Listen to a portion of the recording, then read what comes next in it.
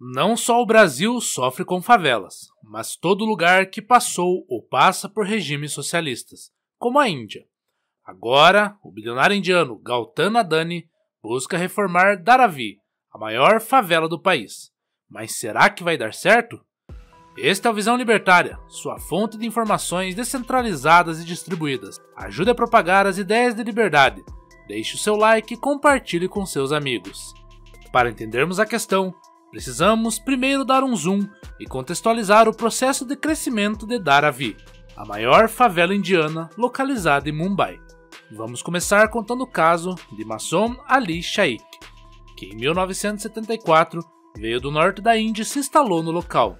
Quando montou sua loja, o pedaço de terra era, segundo as falas do morador, apenas um riacho sem estrada adequada e lixo por todo lado. Com o processo de desenvolvimento e enriquecimento da Índia, devido ao crescimento de práticas capitalistas, especialmente após a queda da cortina de ferro da União Soviética, o país como um todo se desenvolveu, assim como a favela.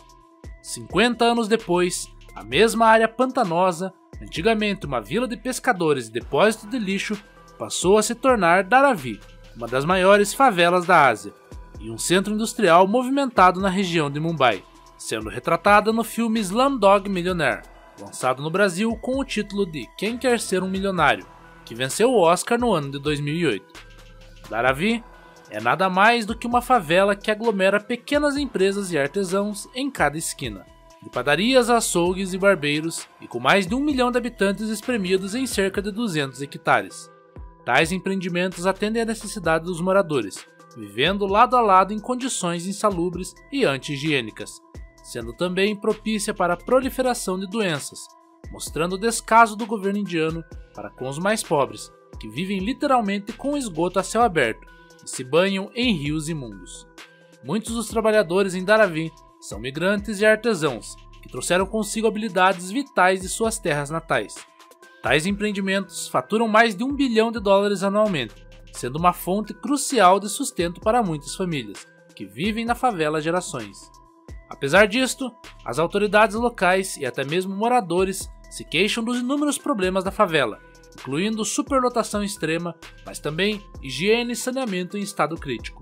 Muitos dos moradores não possuem acesso à água encanada ou banheiros limpos, também sofrendo de vários problemas de saúde devido a tais mazelas sociais, causadas em grande parte pelas décadas passadas do governo socialista indiano.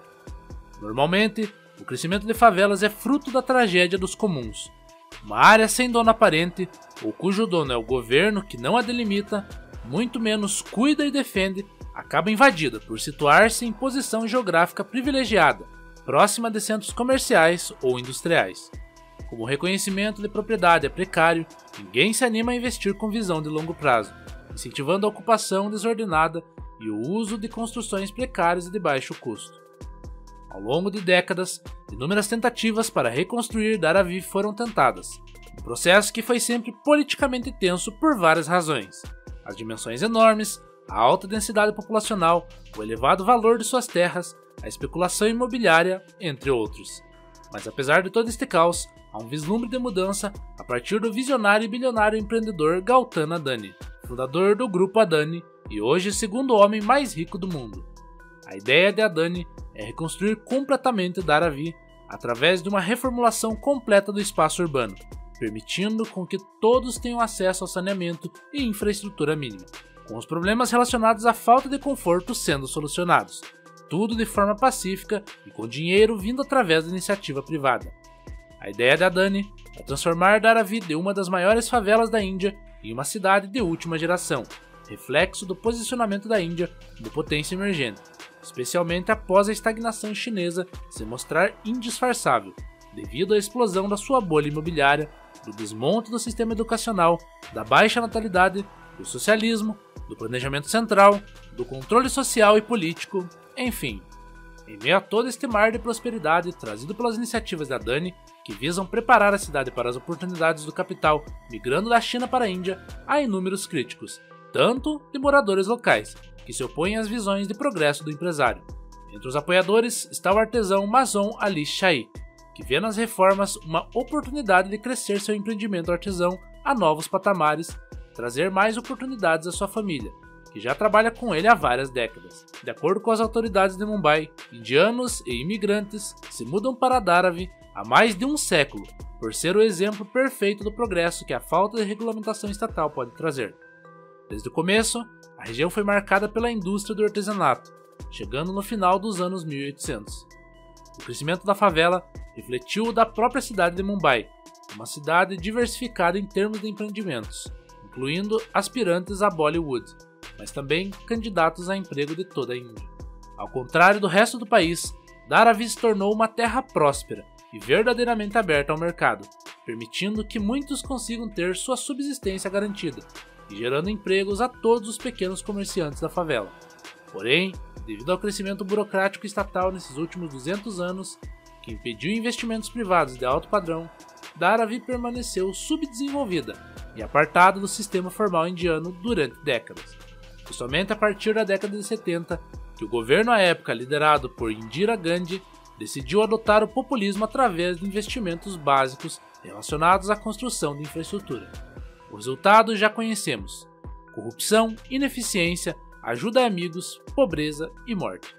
Ao mesmo tempo em que engessou a economia, dificultando a criação de riquezas, o governo indiano procurou por investidores para realizar o processo de reforma de Dharavi desde os anos 70, porém sem sucesso.